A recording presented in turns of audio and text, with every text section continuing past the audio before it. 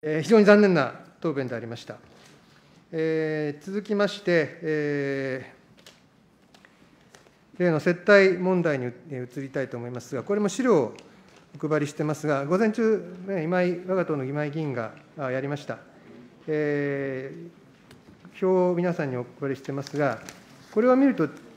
えー、懲戒手続き、調査の端緒、端緒の報告があったところであって、えー、人事院はこれ、まだ何もタッチしてないと報告を受けるだけだって何もタッチしてないということでよろしいですか？ということと、それから、あまあ、朝答弁がありましたけれども、えー、この過程においてですね、国会で答弁をしちゃいけないということではないということでよろしいんですよね。はいか嫌かで短く。国家公務員倫理審査会事務局長、新井仁君。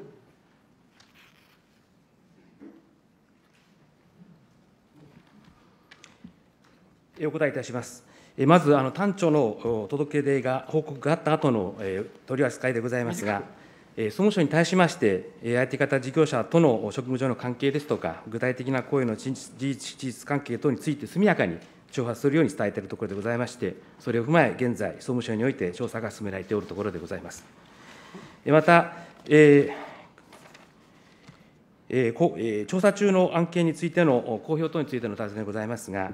一般論として申し上げますと、DS 関係が確定していない段階において、調査の途中経過や当該時点で把握した内容を公にした場合、その後の調査に影響が生ずるおそれがあるため、任命権者の判断において、対外的な発言を差し控える場合があるものと資料いたします。いずれにいたしましても、任命権者においてしっかりと調査をいただくことが重要であり、倫理審査会としましては、任命権者からの報告を受けたうえで、それらの整理がに疑義があると考える場合に、倫理法に定められた権限に基づき、意見を述べ、再検討を求めるなど、的確に対処してまいりたいと考えています。えっと大野総一郎君。もう一回聞きますよ。じゃあ、国会に対して、国政調査権に対して応じられないということを、今のね、いろいろこういう場合はだめだと言ってましたが、あの国会での答弁がそれに当たるとおっしゃってるんですか、答弁できない、それにそういう事項に当たるとおっしゃってるんですかと、短く。はい、あの、はい。あの午前中の答弁との整合性も考えて、きっちり対応してください。はい。新井仁君。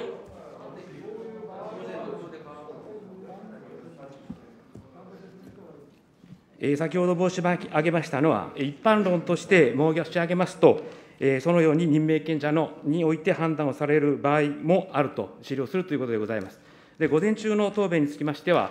倫理法、倫理法令の中に、そのようなことを禁ずる禁止規定があるのかという問いでございましたので、そのような禁止規定はないというふうにお答えしたものでございます。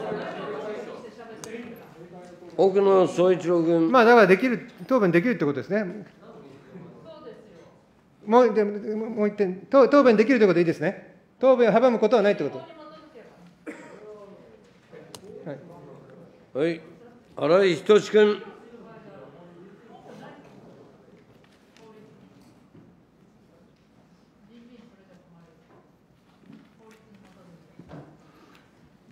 先ほどもお答えいたしましたとおり、一般論として申し上げまして、事実関係が確定していない段階において、調査の途中経過や当該時点で把握した内容を公にした場合、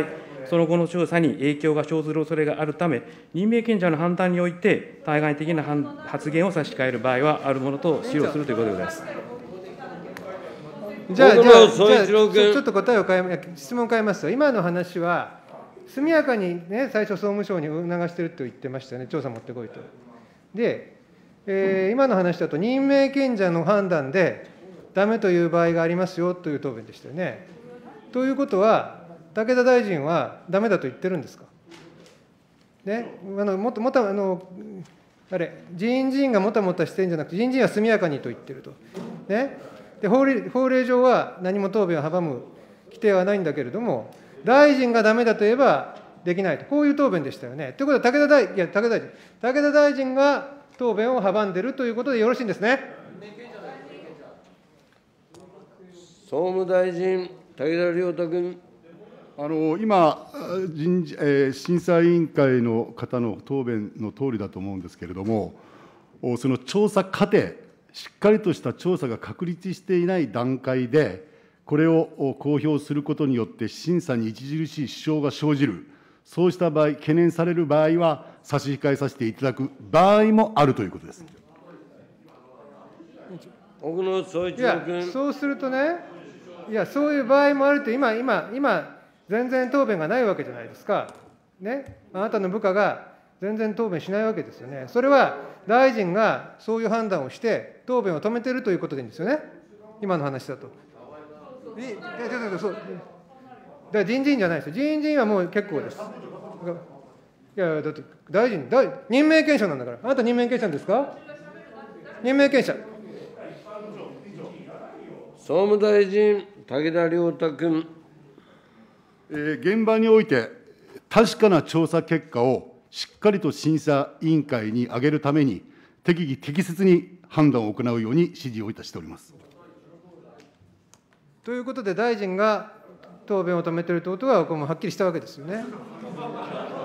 いや、まあ、そう、いや、いや、いや、そう、そう、そう、いや、そういうことですよ。それでね、いや、もうこれ、これやっててもしょうがないんだけど、他もやりたいんですけど、で、われわれとしてはですね、昼の理事会で、えー、まあ、谷脇、吉田、秋元、湯本、この4名の方について、菅清郷氏との過去の会食の回数とかですね、会食の時期とかですね、あるいは負担はしたかどうか、あるいはタクシーチケット贈答品どうなったんだということをちゃんと調べて、えー、金曜日中に出してくださいと申し上げてるんですよ。これ、簡単なことですよ。官房長おられるけどね、官房長、いや、違う違う、そうじゃなくて、官房長がちゃんとヒアリングをすれば、1時間もかかんない話なんですよ。ね、なぜ、で人事院はだって早くしろと言ってるって今言ってましたよね。いや、さっき言ってましたよ、だって。あの早く持ってこいというふうに人事は言ってるわけです。ということは、総務省がもたもたしていて、大臣の判断で答弁が行われてないということでは、まあ、はっきりしてるわけですよ。ね、だから、ちゃんと早く出してくださいよ。まあ、それで、ごめんなさい。で、委員長。で、じゃあ、その聞き取りは誰がしてるんですか？官房長ですか？せっかく手を挙げてるから。はい、総務省、総務省官房長、原邦明君。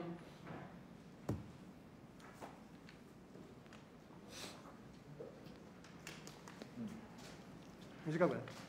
現在、倫理監督官たる事務次官をトップに、弁護士の方も含め、大臣官房秘書課において全力で調査を行っているところであります。国家公務員倫理審査会の指導もいただきながら、可能な限り迅速に進めてまいります。奥野総一郎まあ、ちゃんと漏れなく調査していただくのは結構なんですが、大臣の判断ですぐにも出せるということは今日はっきりしましたので、金曜日、ぜひお願いします。大臣、どうですか？総務大臣、武田良太君。すべての段階において、迅速に対応するように、すでに指示を出しております奥野総一郎じゃあ、金曜日、えー、お待ちをしておりますので、ぜひ迅速にお願いしたいと思います。えー、っと、それで次にですね、今日森下さん来ていただいてますよね。